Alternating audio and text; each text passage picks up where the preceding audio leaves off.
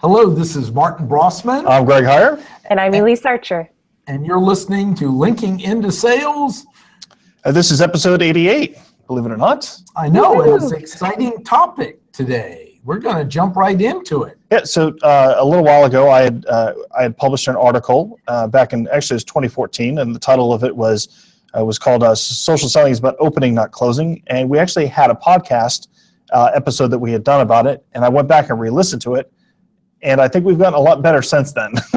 so is revised and updated with the three of us now. Yeah. So, uh, so thank you, Elise, for joining in on, on with this particular conversation because actually, the the social selling is about opening, not closing. Article really resonated very well with a lot of folks, and I think it kind of painted the picture of what we're what we want to set uh, as far as expectations for for social selling. Uh, so, when you um, did you have a chance to read it? I did. Okay. I did. That thing got some uh, mad comments. It did. It did. It's good. Before we begin, we need to mention our sponsor, and we're at NC State Technology Training Solution, uh, which is our sponsor. They offer a whole uh, gambit of training courses, both online, in person, uh, including things like Excel. Uh, they offer uh, social selling training done by us, Mhm. and then I do a course with Karen Teedy that's social media management, as well as many other technical trainings, and they offer come to you courses as well. As uh, well, it's called NC State Technology Training Solution. That's right. We'll come to you and teach you all the stuff about uh, right. social, No, whether it's social selling. We do on site. Uh, In so Holly's doing one tomorrow. Yeah, we, there- there's some on-site training that uh, that NC State Technology Training Solutions does, as well as they offer a number of different technical uh, classes such as A plus, CompTIA plus, uh, some Cisco training, and, as well as uh, videography. You know, some a lot of great opportunities here. Uh, NC State Technology Training Solutions is also a nonprofit, so any any classes you take are tax deductible, and you do earn continuing education credits. It's very important for your professional education. Uh, so definitely check them out. Go to linkingintosales.com slash NCSUTTS to learn more about our sponsor, North Carolina State University Technology Training Solutions. Long name, great purpose. And now let's kick off our Okay, show. let's go back to the show. Sales is about opening, not closing. Social What- selling is about opening, not closing. Absolutely. Social selling is about opening, not closing. Let's dig into this. That's an interesting topic. And how many views did you get on that article? Well, let's Greg? not brag too much about it, but it's over 25,000. There were um, over 500 likes and, uh, and a few more comments as well. So uh, comments were really nice. I, I really liked the, the, the, uh, the positive and the negative that came from the comments. Uh, I, I think that a lot of people had, had shared a pretty good perspective. Of course, I tried to counter all the negative ones uh, as much as possible, unless they were way too far out there on the fringes for me to even attack. Um, but uh, you know, th- there was a there was a few uh, comments out there on that article that basically had said, you know, hey, Will, we've always been taught it's all about closing. It's uh, close this, it's you know, close everything, so that way you can you know move on to the next stage. It's close an appointment. It's you know, close this, and I don't know. I, to, to me, this just doesn't sound like it's fun. Right. Mhm. I, I, I agree. And, and not only that, uh, if you're seeing it as a ongoing process and, and really recognize that the closing is a starting point to deepen the relationships and other opportunities, the risk of treating it as a closing is that you move on and you don't build those lifelong relationships that really get the payoff today. Uh, and you as a expert in solving your clients' problems. Mm.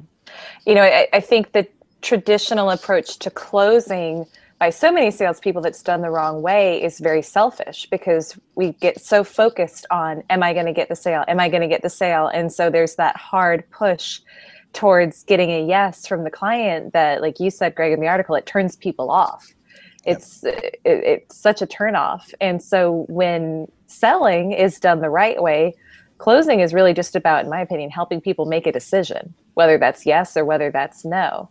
And when that's done the right way, and when your approach is really about how can I help my customer, um, especially incorporating the tools that you have available online now um, to help make sure that your your proposal fits their needs, closing should be a formality. It should be a very simple yes or no based upon whatever their needs are, and then from there the relationship opens. So, I think it's a it's a paradigm shift, but it's an important one. Mhm. You know, years ago, it's kind of funny. I was always pretty good in sales, but I called myself in the support field. And I used to have a more uh, cynical view of sales as manipulating people into something they didn't want. And then when I became self employed, I went, I better clear that out of my head quickly and come up with a new definition or I'm going to starve to death. Uh, and I really defined it for me as developing a true win win relationship for both parties. Because if it's win for you as a customer and lose for me, I can't be around to support you, or vice versa. And then this is is in our education process of social selling. It is like the focal point that then starts branching out to all the other opportunities. And I think they go in well, and it's real important that we uh, really start redefining it as as the as the opening of now they've committed at the level of writing a check or putting money behind it. So now we can really roll up our sleeves, deliver, and build deeper relationships by proving the quality of the value we give them for their money. I'm curious to hear from you, Greg. Where did that idea initially come from? that it's that social selling is about opening, not closing. Yeah. So uh, honestly, I was um, I was listening to a book, and uh, it just kind of dawned to me that uh, you know from what this person was saying, it actually came from uh, the E Myth, which is an excellent book about uh, that dives into how business owners need to look at their business as a product that they are continuing to develop rather than looking at it as a job, which unfortunately a lot of small business owners end up doing.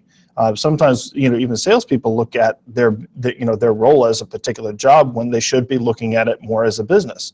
And there was this line that was uh, that it kind of it caught my attention real quick. It wasn't a tremendous amount of emphasis on it, uh, but he had said that you know sales basically is the is the opening uh, not the closing of the relationship. And and where I was at the time uh, was actually a marketing manager at a, at a local software as a service company, and it just everything that I had experienced with the sales team, where they would go in and sell one particular module of their product and not go back to sell it again. It, it all kind of clicked for me at that point there, and and uh, it, it, it made sense that if they were actually doing social selling uh, looking at their customer, learning about them, trying to figure out their needs, and analyzing what else they could potentially use to help uh, uh, complete the solution.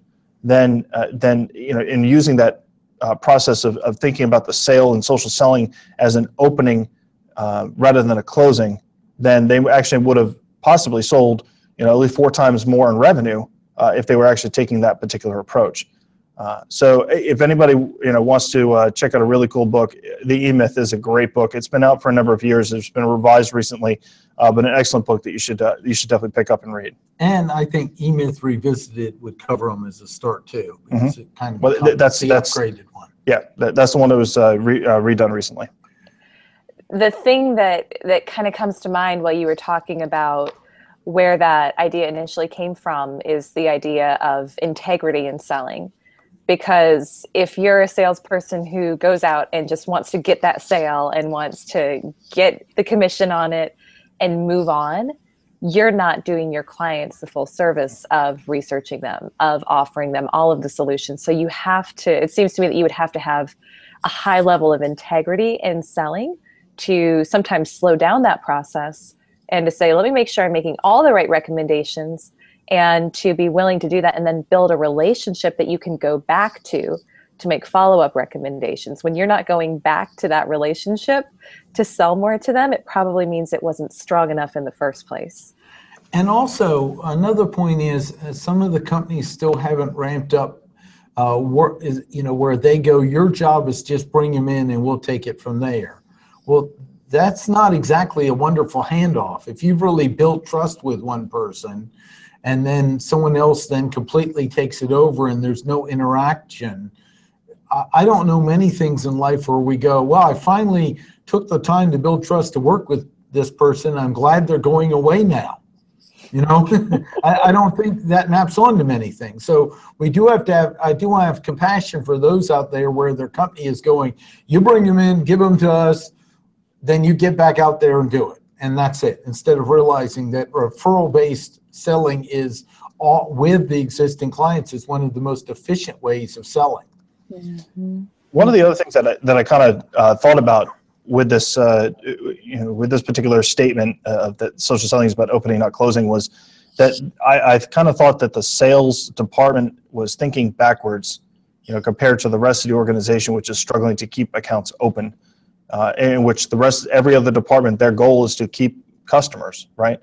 Uh, and and with sales, if they're continually thinking that I have to close all the time, that's kind of a negative uh, when the you know when the rest of the company is working hard to try and keep accounts uh, open. So I wonder if if we had actually shifted the mindset away from the Glengarry Glen Ross days of uh, you know that 1992 movie which I referenced in the article that you know uh, ABC always be closing. Instead, if it was ABC always be creating, then uh, would we have a better sales department and people would actually really uh, appreciate sales as a profession much more than what they do today. Mm. So Mm. I'm I'm curious if you work for a company um, like one of the ones Martin that you were referencing, where it's just about bring in bring in the sale, bring in the sale, and then hand it off. What do you do if you Well- want to be a good opener? Like what do you what do you do in that You situation? take our LinkedIn training and job hunt. No, I'm kidding. I'm kidding. Uh, no, uh, one of the methods is to me, nothing speaks more in getting the right to change the system than meeting and exceeding quota. I, I want to get back to that in, in like coaching. When, when I work with somebody and you too in coaching is uh, first build them up and you may not have, you may stay connected at levels you can until you start getting enough cloud internally and getting enough strategic allies in the system that you can see can we start shifting this in the company? Uh, but that takes both.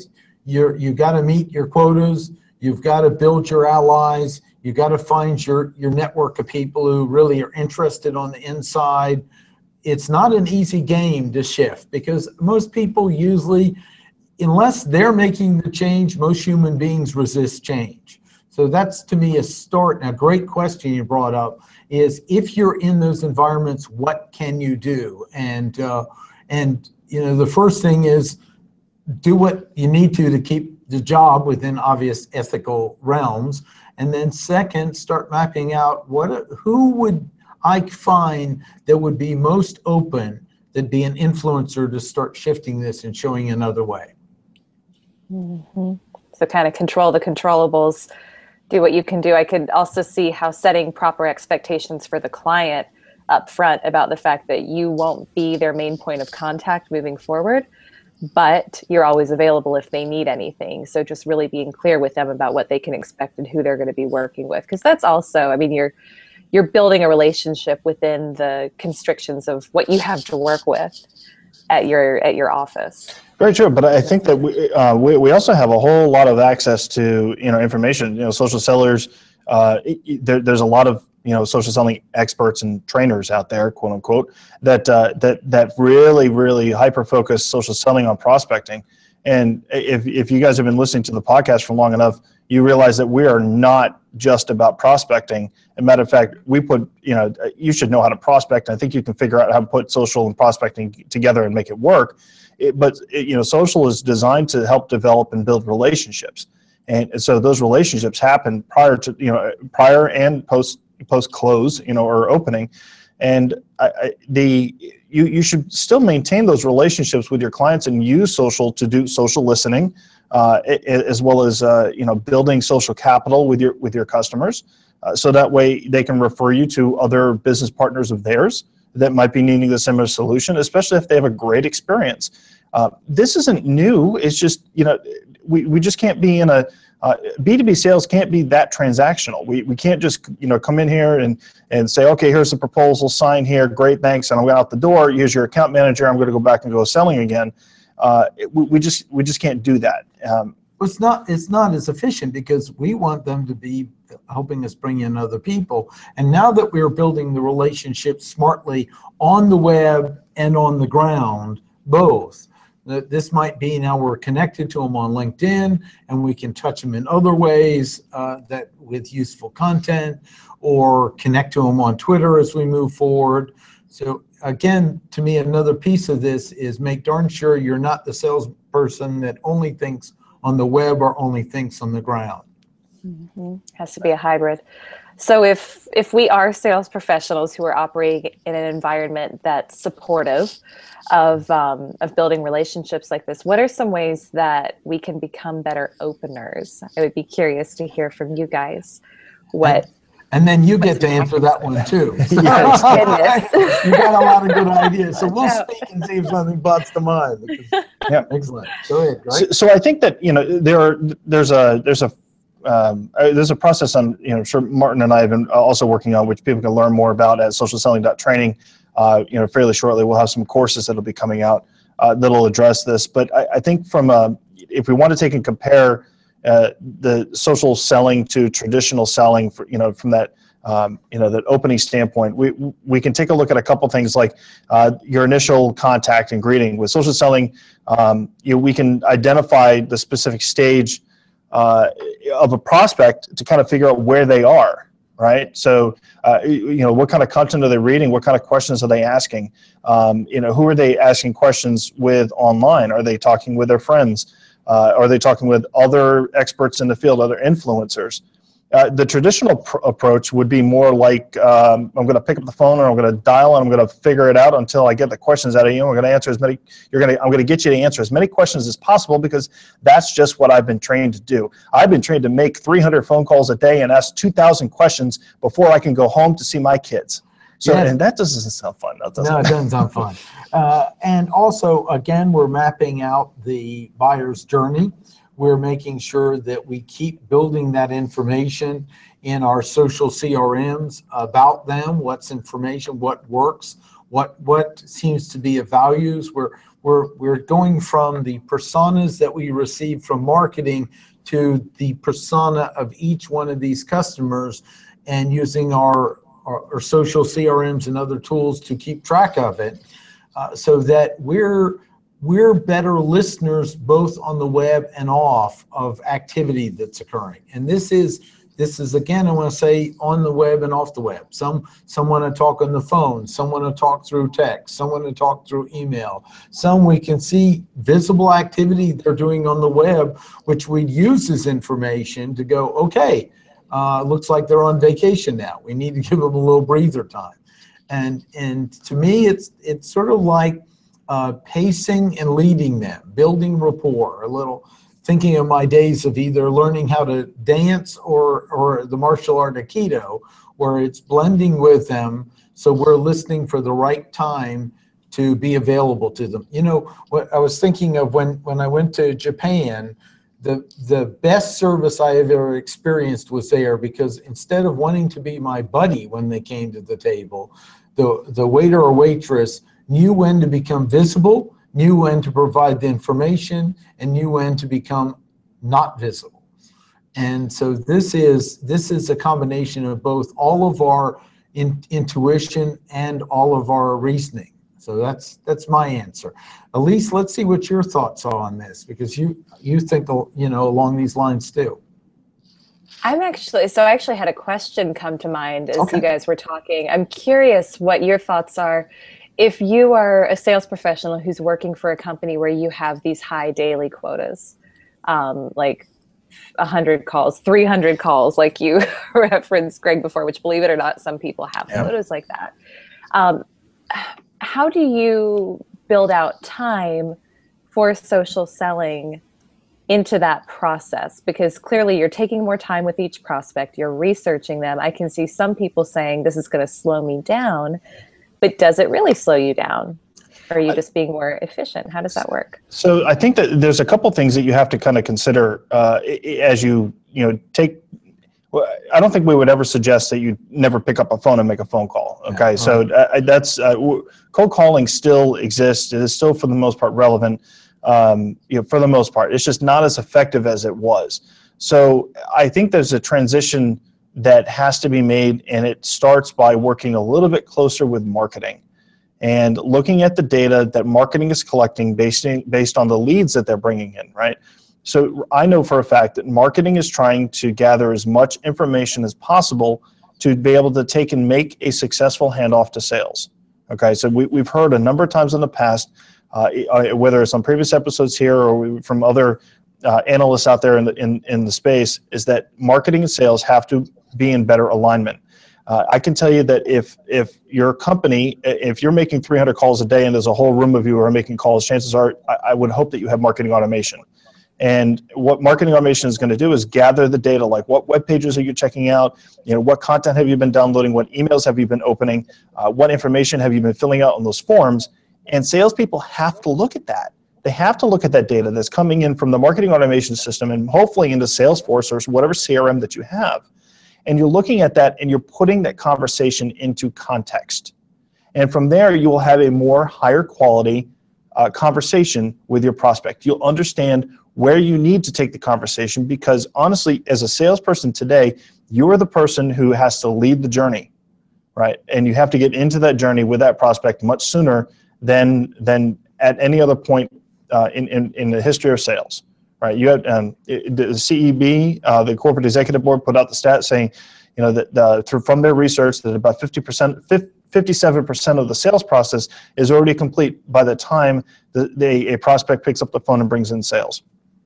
That means that sales has to be in the process earlier, right? So the data that that uh, people are collecting from the marketing automation system can help you actually get up to speed faster on what the prospect is going through. So that way you can make a better decision uh, for, or you can help that prospect make a better decision with going forward. So I think that as you take and start using more of that marketing data, I think more and more will salespeople start to realize that, hey, I can get very similar data based on the interactions and engagements I'm having in social and maybe I won't need to take and pick up the phone. Or when I do, I actually have, I, I know exactly who I'm calling uh, and I know exactly what I need to talk about and I know how to relate to this particular person. Mm. Absolutely. And, um, you know, looking at your article um, in the, the first phase of the sales cycle that you cite there, which is initial contact and greeting. I mean, even if your company isn't providing you with some high powered marketing automation data, there's something super simple we should be doing before every call, which is looking to see who do we know in common on LinkedIn. So even if outside of that, it's a cold call because I make calls every day. I have a quota as well of how many calls I need to make, but I always have a name that I'm leading with when I make that phone call. So I may call Greg and say, Hey, Greg, this is Elise Archer. Uh, my name probably doesn't ring a bell. We haven't actually had the opportunity to meet yet. But by chance, does Martin Brossman's name ring a bell? Mm-hmm. And so from there, all of a sudden, what was a cold call is now a call about a mutual friend, Martin. And so it's just taking that extra little time before you do your calls to say, who do we know in common um, that can turn this call from a cold call into a warm call?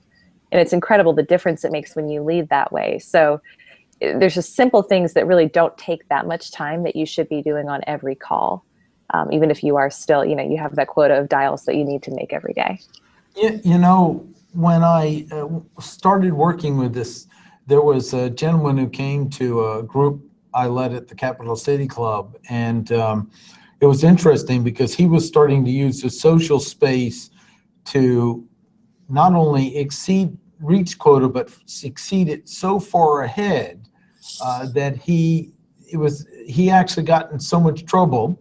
They told him he had to stop it immediately because they were not in the social space, or he'd lose his job. Uh, and and so I do want to bring up, you know, pay attention to where you are, and there might be a time you need to smile, do your job, and uh, you may there you may be pushing rope far too much to be able to get them to change at some point. and the you know luck he had to choose to uh, well actually he he he he eventually they decided to stop working together because he was going i'm exceeding quota and you won't let me use the ethical and legal tools that i shown to work and he found other work so I just want to acknowledge some people. There is a wall where you got to do what you need to do and then look for other opportunities and make sure you interview. Now, hopefully most of the people will be able to work inside their system like we're mentioning, but there are exceptions to this. Mhm, mhm. So, one final thought on my part, one final question would be how do we redefine closing? So, in the framework of social selling being about opening and not closing, what does closing the business mean? And how do we transition into that mindset of, of, uh, of opening rather than closing? I'd love to hear from you guys. Yeah, so I, I think that uh, there's one term that uh, that Martin and I have kind of settled on uh, when we talk about the um, uh, about the closing process or the opening process, and we call it uh, actually mutualizing the commitment, right? So Yeah. it, it, the, the mutualizing the commitment basically says that you know you have uh, both you and I agree to what we just uh, what we spoke about, what we're, what the services I'm going to provide to you, and the commitment that you uh, make with me in order to implement that, those particular solutions, uh, or and also to pay the bill. But uh, so, but yeah, Martin, why don't you take it a little bit further? No, that's it. it it's uh, we were playing with words that would describe the new version beyond a closing, and the mutualizing the commitment was the the words to start with to kind of describe the new phenomenon that's occurring. So if you we're working together, we're in agreement, it's a mutual commitment. Now we need to be moving forward in the implementation and make sure the maximum value occurs. So you, the customer, become a raving fan and want to refer us to multiple people. And uh, so that's that's kind of the start. We're, we're we have more in store in our online training too of this that we've worked on, and and excited uh, to Elise's giving her perspective and other resources. So, uh, Elise, any views of your own on this? I'm I'm going to keep pushing it back. You have asked such good questions, but uh, love to hear those. Well, you guys are just, you're such good wordsmiths. I love that. Mutualizing the commitment. It's so good. It's so good. Okay, Um, you know, the, the other thought that comes to mind is when you do that and when you shape up your relationship with your new uh, client in a way where you know you're going to have a relationship, you're going to be staying in touch, you're going to be working together, And you are setting yourself up so well for referrals. Yeah. That's uh, that is going to be one of the biggest game changers in your business because not only will they be probably more likely to proactively provide them, uh, but if you're staying in touch with them, you're going to see who they're connecting with on LinkedIn, what they're up to, um, what's going on in their network. And if you're a good professional salesperson, you know how to get referrals and how to ask for referrals the right way um, and ask to be introduced to people in their networks. So just setting up the relationship um, in the way that we're talking about tonight really should mean that you never have a lack of people to call on who are warm referrals from your network who you've served well with the opening process. Exactly. No, so there's uh, one final thought. I, I guess we can uh, kind of leave leave this episode with. So I, I, I like to take and look at, at things and kind of change the perspective on them just a little bit. You know, one example would be social selling is about opening, not closing. Uh, but I try to look at things and try to put the sales twist on it, right? Uh huh. Right. So I, I uh, earlier, I think a couple weeks ago, I shared you uh, this image uh, that I kind of doctored up a little bit, uh, and it was a, a scene from a movie called The Matrix.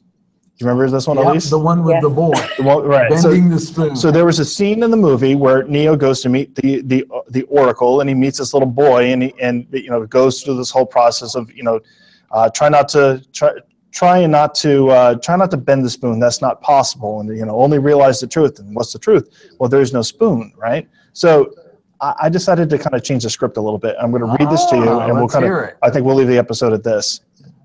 Uh, the boy says, Try not and close the sale. That's impossible.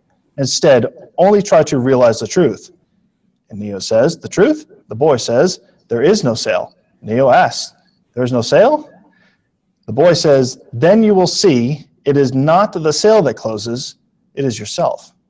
how fun! How fun! A good way to wrap it Ooh, up. So, Fun. mind blown. No, it's fun. That's good. And and we see this uh, show not as a closing, but an opening to get your comments on it. What are your views? Do you agree or disagree? We really want to get the conversation out there. It will be available on Twitter too, so Absolutely. you can continue with it and watch for it in other areas. Um, uh, Elise, anything you want to add before we wrap up tonight? The one thing I would add is we would love to hear um, from you guys, from the audience, about questions you're running into, any social selling or sales dilemmas, anything that you may be struggling with. We would love to be able to answer here on the show. We'll troubleshoot it, we'll mastermind it, um, give you some ideas. Hopefully, they're good and not crap. So we would love to have. Not we'll have our coffee first. We'll make sure that we're that we're on point. But we would love to hear from you guys about what are some things out in the field that you're running into, so that we can really partner with you and help you in increasing your business and your sales. Excellent. I think that's a great idea. Um, and you know where to find us. You can uh, just get out the linking to linkingintosales.com. Uh, we have a brand new uh, brand new look to the website, so you know be sure to go out there and check that out. Uh, there we have a contact us form, or you can actually just reach out to us on LinkedIn. Uh, join the, the LinkedIn group. Hit us up on Twitter. I think we all have our. Have, you have four different Twitter accounts you can reach uh, reach us at, uh, especially at linking in the number two sales. you can find us there, and And, uh, you know, what would be great is if we could give them uh, some free profile training for LinkedIn Oh, yeah. Twitter. Do we have anything we could do for them as, as listeners? Yeah, What so so we know this. There's a few folks who listen to the podcast, and uh, we want you to actually go out to socialselling.training. Not not it's not dot .training.com. It's just socialselling.training. Go out there and sign up and take. Uh, we got two free courses out there. It's available to you right now, uh, and you can get uh, uh, LinkedIn profile fundamentals for the social seller, as well as Twitter profile fundamentals for the social seller. And those are two free courses. when you sign up, we will have other offerings that will be special to the people who sign up. At the completion, you can get a link to add to LinkedIn showing you completed the class. So Yeah, so basically you get get- all the way through. you get a certificate of completion uh, uh, upon the completion of every course that you get, and that link is uh, is available to you to include in your LinkedIn profile, and we'll teach you how to do that in our course. Sounds Bam. good. Or we might just do a how-to video, throw it up on YouTube channel. So Well, this is Martin Brossman. I'm Greg Hyer. And I'm Elise Archer. You've been watching or listening to the Linking into Sales Social Selling podcast. Have a great night.